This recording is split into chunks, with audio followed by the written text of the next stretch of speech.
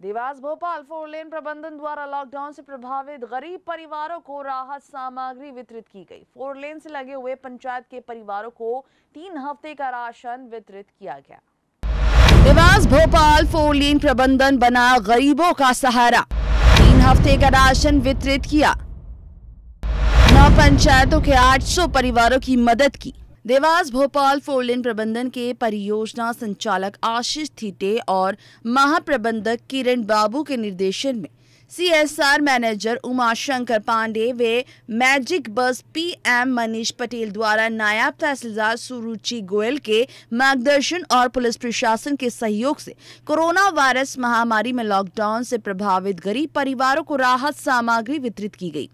Four lane से लगे हुए पंचायत के परिवारों को तीन हफ़्ते का राशन वितरित किया गया, जिसमें प्रति परिवार 10 किलो बासमती चावल, तीन किलो दाल, तीन किलो सोया तेल, तीन किलो आलू, सौ ग्राम हल्दी, एक किलो नमक, तीन डिटॉल साबुन, दो बड़ा रिन साबुन दिया गया। सीएसआर मैनेजर उमा शंकर पांडे ने कोरोना वायरस से बचाव के लिए बरती जाने वाली सावधानी से आम जनता को अवगत कराया।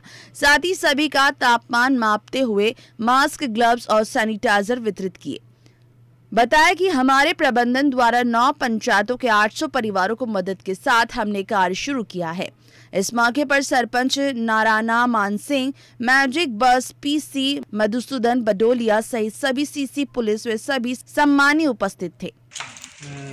टोल टैक्सी की तरफ़ से राशन गरीब वर्ग के लोगों को की आवश्यकता है। उनको यहाँ और इसमें सहयोग हमारा ही है।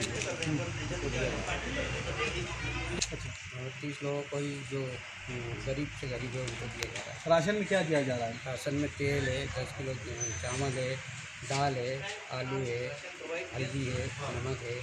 और डिटॉल साबुन है दो कपड़े धोने की साबुन है। M P R D C और Dewas Bhopal corridor private limited के द्वारा जो ज़रूरतमंद लोग हैं, उनको भोजन सामग्री वितरित की जा रही है, जैसे तेल, दाल, हल्दी एट्सेट्रा और ये सब सामान यहाँ पे सोशल डिस्टेंसिंग का पालन कराया जाकर सभी को वितरित किया जा रहा है।